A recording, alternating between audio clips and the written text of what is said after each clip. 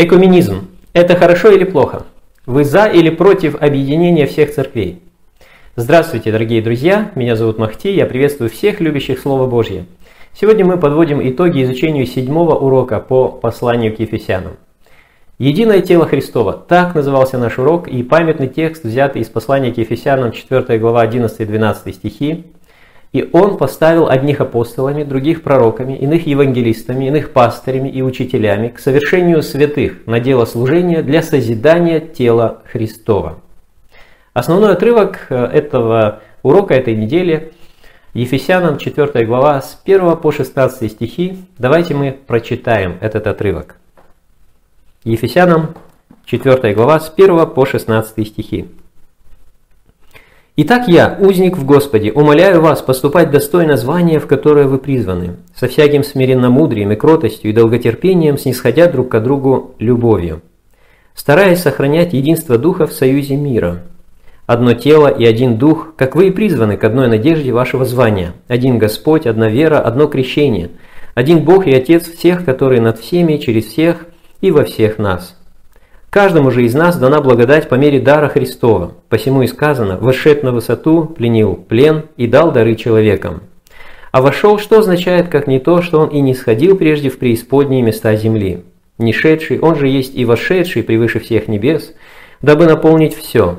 И он поставил одних апостолами, других пророками, иных евангелистами, иных пастырями и учителями, к совершению святых на дело служения для созидания тела Христова доколе все придем в единство веры и познания Сына Божия, в мужа совершенного, в меру полного возраста Христова, дабы мы не были более младенцами, колеблющимися и увлекающимися всяким ветром учения, по лукавству человеков, по хитрому искусству обольщения, но истинной любовью все возвращали в того, который есть глава Христос из которого все тело, составляемое и совокупляемое посредством всяких взаимно скрепляющих связей, при действии в свою меру каждого члена получает превращение для созидания самого себя в любви.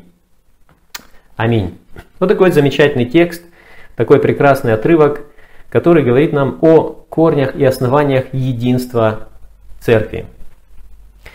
А, очень интересно, как здесь представляется снова апостол Павел. Итак, я узник в Господе. Узник в Господе. Он снова и снова повторяет эту мысль о том, что он узник не просто римских властей, он не просто узник совести, не просто религиозно преследуемый человек э, за свои убеждения, но он узник в Господе. Именно Господь ведет его в узы, привел его в узы. Здесь он представляется так, потому что говорит, я как узник в Господе имею право просить, умолять вас о том, чтобы вы были едины.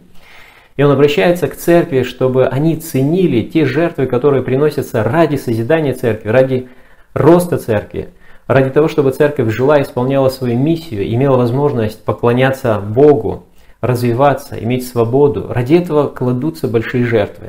И сегодня, в наше время, это тоже происходит. Очень много людей, Божьих, посвященных людей, отдают свою, свои жизни, отдают свое время, свои э, ресурсы, финансы, посвящают жизнь своей семьи тому, чтобы церковь созидалась. И это все нужно ценить. Это все очень важно ценить. А дальше он говорит, я умоляю вас. Он не говорит, что я приказываю, повелеваю, хотя у него были все права на это. Он говорит, я умоляю вас. И это очень хороший пример для нас, чтобы и мы, когда мы знаем, что есть правда, и правда должна быть соблюдена, чтобы мы не добивались этой правды любой ценой внутри церкви, чтобы у нас было отношение любви, а, увещевания, взаимопомощи, взаимной поддержки и указания верного направления тем, кто заблудился. Умоляю вас. Достойно звания. Здесь говорится, умоляю вас поступать достойно звания, в которое вы призваны. Какое звание? О каком звании говорит здесь апостол Павел? Звание христианина, звание избранного Божьего, звание сына и дочери Божьей. Это очень высокое звание, выше этого звания нет. И это звание означает еще и призвание, призвание в этом мире быть последователями Христа, отражать Его характер и нести дальше Его миссию. Поэтому давайте не забывать об этом звании, и мы сегодня также давайте будем помнить об этом. И дальше он призывает их к единству, и здесь говорит о семи таких объединяющих факторах. Он указывает на семь оснований, семь основ единства церкви. Давайте мы перечислим их.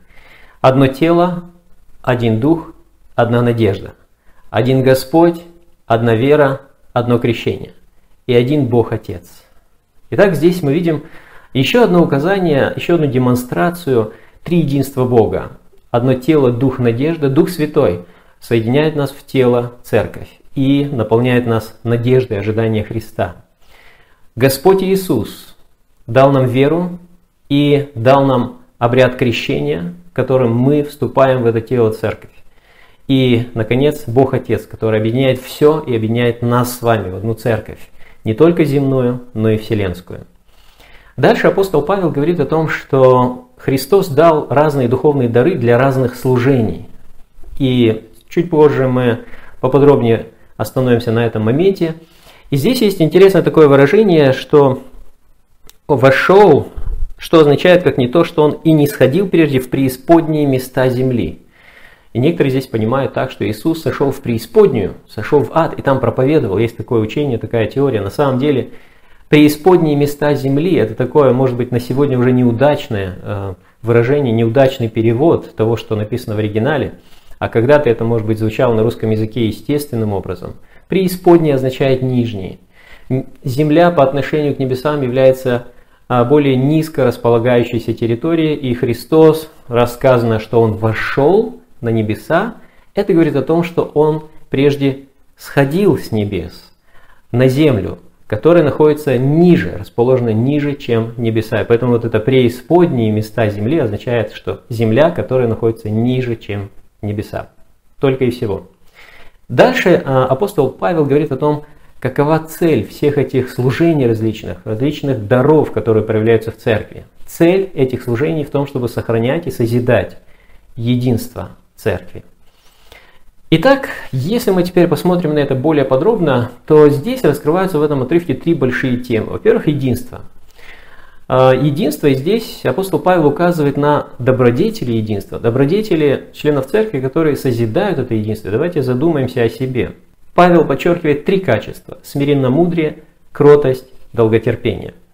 Смиренно-мудрее, что это? Это такое активное смирение. Это смирение, которое проявляется в служении ближним, во взаимном служении в церкви. Кротость. Что за качество кротость? Кротость – это когда ты не думаешь о себе много. Это не, не то, когда ты думаешь о себе плохо, хуже, чем об остальных. Это то, когда ты думаешь о себе меньше, чем о других. А кротость – это нацеленность на Бога, нацеленность на ближнего. И долготерпение – Долготерпение – это когда мы проявляем терпение при любых обстоятельствах и так долго, как необходимо, и в таком объеме, в котором необходимо. Иногда бывает, что на короткий промежуток времени на вас с разных сторон наваливаются разные проблемы. И это тоже долготерпение. Нужно, чтобы выдерживать большую стрессовую нагрузку. Кто выдерживает? Кто проявляет долготерпение? Тот человек, в котором пребывает Христос, только и всего.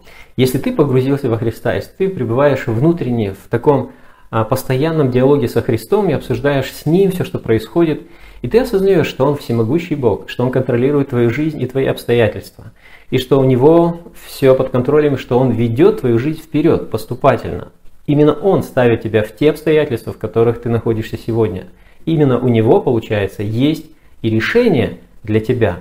Поэтому главным вопросом должно быть в любой незнакомой ситуации, нестандартной ситуации, Господи, что повелишь мне делать? Что ты ожидаешь от меня? Если ты создал такую ситуацию в моей жизни, значит у тебя есть и выход, у тебя есть какое-то видение, что я должен делать а, в этой ситуации. Пожалуйста, помоги мне понимать, что ты ожидаешь от меня. И вот такой подход, он поможет вам не перегружаться стрессом каких-то проблем, реагировать не стрессово на проблемы, а реагировать на все происходящее как на руку Божью, которая ведет вас, иногда нелегким путем, но эта рука Божья вас сохранит и вас выведет из любой сложившейся ситуации. И здесь э, еще раз мы возвращаемся к этим семи граням единства, о которых говорит апостол Павел. Э, Павел говорит о Духе Святом, э, который объединяет церковь. Тело Христова, эта церковная организация, объединяет церковь надежда, наше упование на второе пришествие Христа, правильное понимание, единое понимание того, что происходит в последнее время и того, что будет а, происходить при пришествии Христа, это нас объединяет. Господь Иисус, понимание Его личности, Его Бога-человеческой природы, Его миссии, Его жертвы, того, что Он совершил, того, что Он совершает сегодня на небесах, и то, что произойдет в будущем, это тоже объединяет нас. А, вера, которую дал нам Иисус, учение, а, которое принес Иисус, учение о жизни христианской, объединяет нас. Крещение также объединяет нас. А, форма крещения, понимание смысла крещения и единое крещение, то есть э, когда все мы понимаем, что каждый из нас крестился во имя Отца и Сына и Святого Духа и вступил в эту церковь, это объединяет нас. И, наконец, понимание Бога Отца, Его замысла, Его как Создателя, Его как э, того, кто движет наш мир к завершению этой греховной истории – того, у кого есть э, замысел великий, э, великий план спасения, и он его осуществляет планомерно, вот это понимание также объединяет нас. Давайте мы посмотрим еще на одну тему. То есть первая тема была единство, вторая тема это Христос и духовные дары. Откровение 5 глава описывает, как Христос воцарился, воцаряется, восседает на престоле, и Дух Святой послан во всю землю. Так описано это в 5 главе Откровения. Для чего даются дары Духа Святого? Для чего Дух Святой послан? Мы видим в этом отрывке, что дары даются для служения. Положение в церкви должны определять именно дары, а не связи какие-то, родственные связи или другие, харизма, опыт, дружеские отношения, авторитет. Все это не имеет никакого значения. Только духовные дары должны определять, кто на какое служение поставляется в церкви. Знаете ли вы свои дары? вы используете свои дары. Если вы еще не определились со своими духовными дарами, попросите вашего пастора провести тест, помочь вам пройти тест на определение духовных даров. Пусть пастор или руководитель отдела личного служения вашей церкви поможет вам а, определиться в церкви, в том служении, которое максимально соответствует вашему набору духовных даров. Дальше еще одна тема, о которой говорит апостол Павел, это как растет тело Христа. Любой организм растет, если он здоров. Поэтому, чтобы церковь росла, необходимо, чтобы она была здоровой. Это означает здоровые отношения, это означает здоровые, здоровое богословие.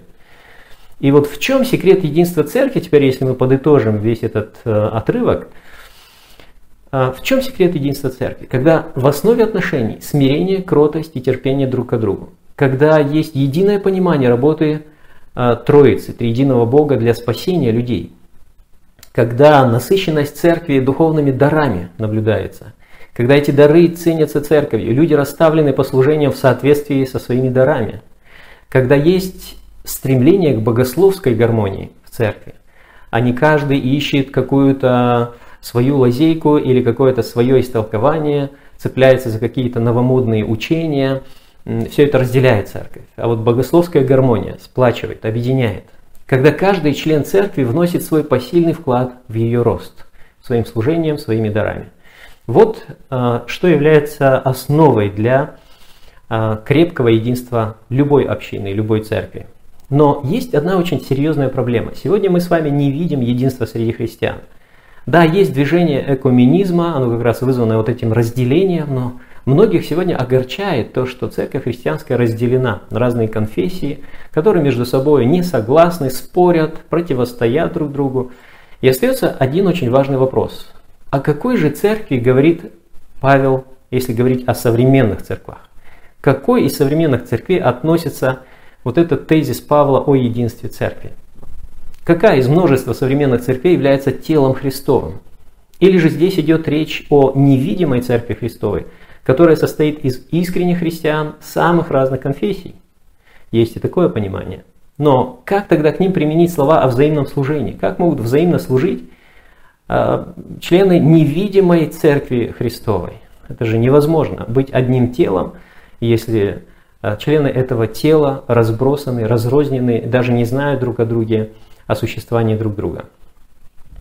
И, конечно, мы сегодня можем сказать, что э, и да, и да. То есть и о невидимой церкви, и о видимой церкви. Также апостол Павел говорит эти вещи.